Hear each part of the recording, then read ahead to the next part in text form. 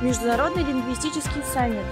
Прием, который я использую на уроке, он помогает э, детям понять, э, о чем мы говорим, да, заинтересовать, и, соответственно, они предмет уже лучше знают. Мама, я в телевизоре. Юбилей университетского телевидения. Блогеры в Казанском федеральном. Флагман высшего образования Татарстана.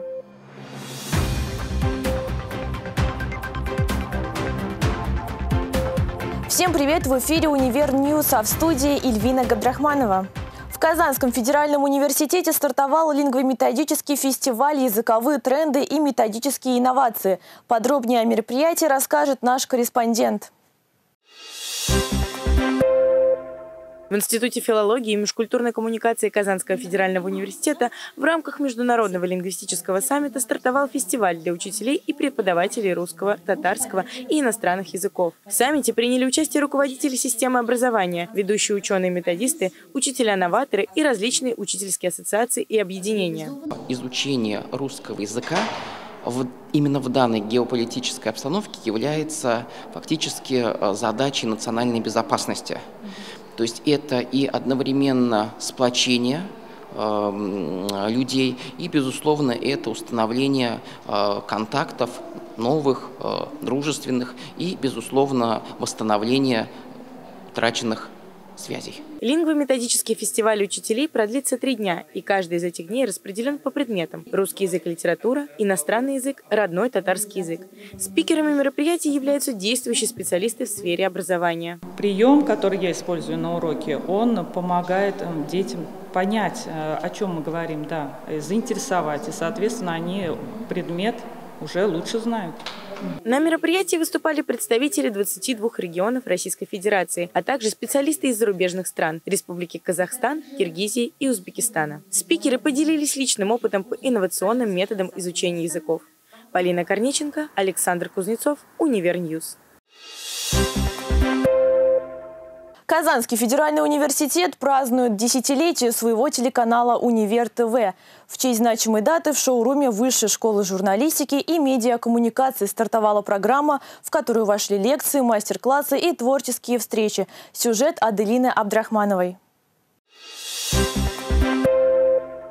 17 ноября в шоуруме Высшей школы журналистики и медиакоммуникаций Института социально-философских наук и массовых коммуникаций состоялось масштабное мероприятие, приуроченное к 45-летию университетского телевидения и десятилетию телеканала Универ ТВ. Открыла программу ток-шоу «Как превратить любительский студенческий контент в профессиональный медиапродукт». В качестве участников в студии присутствовали руководители медиацентров институтов Казанского федерального университета. В ходе беседы гости рассказали о своих творческих проектах, проектах, поделились секретами и тонкостями рабочего процесса. Участники смогли пообщаться с заместителем исполнительного директора Международной ассоциации студенческого телевидения Сергеем Косинчуком, а также с Дмитрием Тамкевичем, возглавляющим образовательный проект «Слово за нами» от Лиги студентов.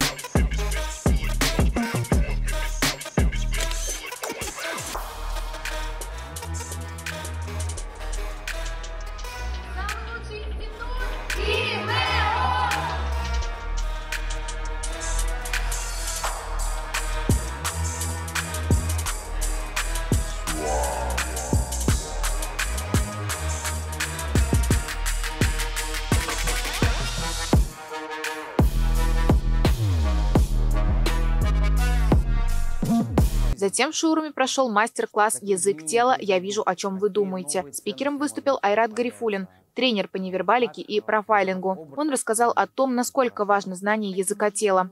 После мозгового штурма для участников программы выступила музыкальная группа «Живаго». Затем гости мероприятия смогли посетить мастер-класс Александра Костриченко, продюсера и директора проектов на телеканалах РЕН-ТВ, ТВ-3 и ЧЕМ. Видел отклик и то, что в глазах у людей была заинтересованность, тема была интересной. Вот, и надеюсь, что они дальше самостоятельно уже посмотрят информацию, какое-то видео, может быть, посмотрят по невербалике. Вот, и думаю, что какое-то зерно я заложил в них, что они, им будет это интересно изучить эту тему более подробно, более детально. Впечатления исключительно приятные. Я был удивлен даже количеству народа, которое пришло. Видно, что это интересно, видно, что ребята слушали, что им нравится. Им нравится то, на что они учатся, то, где они учатся. И у меня, конечно же, большие впечатления от того, какое оснащение есть у них, на чем они могут работать, какая техника современная, э, самое, из того, что может быть самое лучшее, и у них горят глаза. Позднее заместитель руководителя Татмеди Эдуард Хайрулин в рамках своего мастер-класса посвятил гостей праздника в тонкости внутренней кухни видеохолдинга. Прекрасные девушки у вас работают, учатся. Надеюсь, все они дойдут до конца, станут журналистами, пополнят наши ряды, потому что умные и красивые нужны всегда. Судя по тому, что практически каждый задал вопрос, э, значит, что-то мы затронули. Э, что-то мы э, разбудили, заинтересовали, поэтому мне нравится, когда диалог. Я не на все вопросы могу ответить, но стараюсь. Мероприятие, посвященное дню рождения университетского телевидения Казанского университета, продолжится 18 ноября. Лекции, мастер-классы и творческие встречи будут проходить с 8.30 до 15.10. Аделина Абдрахманова, Александр Кузнецов, Фарид Захитоглы, Универ News. В Казанском федеральном университете прошла встреча с блогерами Татарстана. Об экскурсии и впечатлениях гостей в следующем сюжете. Казанском федеральном университете состоялся блок-тур по музею истории, экскурсия для популярных блогеров Казани. Мероприятие приурочено к 218-летию Казанского университета. Блогеры прикоснулись к реликвиям университетской истории. Экспозиция музея, насчитывающая свыше полутора тысяч экспонатов, знакомит посетителей с 200-летней историей университета. Естественно, это просто история такая незыблемая, уже много, многолетняя, поэтому сюда стоит обязательно приходить. Вот в этом как раз зале мне просто нравится роспись и то, как я себя здесь чувствую. То есть экспонатов просто множество, и каждый по-своему рассказывает о других музеях. Он еще погружает и в информацию о других музеях, поэтому просто очень люблю музей истории. Отметим, что экскурсия позволила не только познакомить столичных блогеров с многолетней историей вуза, но и окунуться в теплые воспоминания студенческих лет. В заключение блогерам вручили памятные подарки от Казанского университета, толстовки и поясные сумки. Напомним, это не первый блог-тур по КФУ. Ранее аналогичное мероприятие состоялось в лабораториях Института фундаментальной медицины и биологии. Карина Саяхова, Александр Кузнецов, Univer News. Одному из старейших вузов России, Казанскому федеральному университету, 218 лет. Об истории становления и успехов флагмана всего высшего образования Татарстана далее в сюжете. 18 ноября одному из старейших вузов России исполняется 218 лет. За свою более чем двухвековую историю Казанский университет пережил немало потрясений. Менялись эпохи, а с ними и название вуза на фасаде белоснежного здания с колоннами. Сегодня сложно представить, что когда-то Казанский университет располагался лишь в одном здании. 1804 году Александр I подписал утвердительную грамоту об основании Казанского императорского университета и его устав. Первоначально университет разместился в здании Казанской императорской гимназии. В 20-х годах XIX века архитектор Петр Пютницкий возвел главный корпус, классический фасад которого сохранился до наших дней. В то время университет, создавая вокруг себя культурное поле, своей многогранной деятельностью способствовал формированию просвещенной творческой личности, а также складыванию социальной структуры, которая отвечала потребностям развивающихся развивающегося общества. Так случилось и с Казанью. Город, его облик стали меняться под деятельным воздействием университета. Николай Иванович Лобачевский, возглавлявший Казанский университет с 1827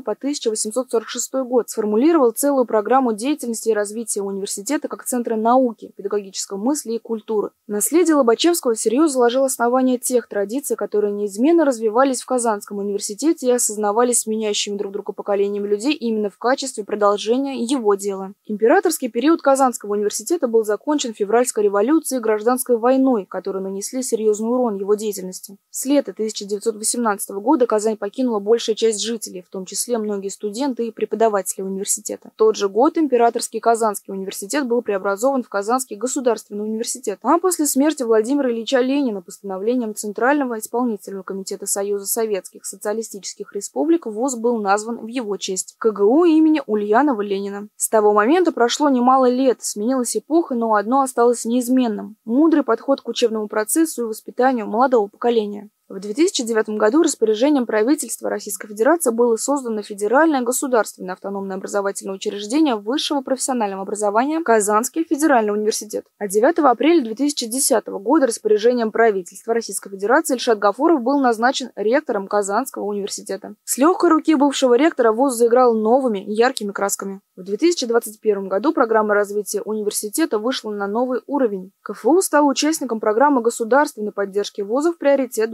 2030», в рамках которой ныне реализуют уникальные проекты, направленные на развитие вуза. В 2022 году пост ректора возглавил Ленар Сафин. Весомым этапом в модернизации университета также стало сотрудничество публичного акционерного общества КАМАЗ и инжиниринговый центр КФУ. Передовая инженерная школа Киберавтотех стала новым подразделением инжинирингового центра Набережно-Челнинского института КФУ. Учащиеся вовлекаются в решение реальных производственных задач, а также интегрируют их практические результаты в сегмент высокотехнологичного предпринимательства. Например, в разработку прототипов и сборку исследовательских проектов в форме стартапов в соответствии с заказами предприятий. В октябре 2022 года Казанский федеральный университет в лице ректора Ленара Сафина, Минпромторг Республики Татарстан и ПАО КАМАЗ подписали трехстороннее соглашение о партнерстве в создании нового типа инженерной подготовки, осуществления разработок и исследований в приоритетных областях технологического развития Российской Федерации. Сегодня Казанский университет является одним из наиболее обширных и эффективных вузов страны. Его институты располагаются в набережных Челнах и Лабуге, а не так давно в большую семью добавился и Джизакский филиал университета в Узбекистане. Казанский университет входит в число лучших вузов страны и остается одним из наиболее эффективных и престижных в России. 18 ноября в КСК КФУ «Уникс» состоится торжественный концерт, где зрители смогут насладиться праздничной атмосферой и посмотреть своими глазами на самую яркую программу года. Карина Саяхова, Univer News. На этом все. В студии была Эльвина Габдрахманова. Сюжеты из выпуска ты сможешь найти в наших социальных сетях, а также на сайте телеканала. До новых встреч!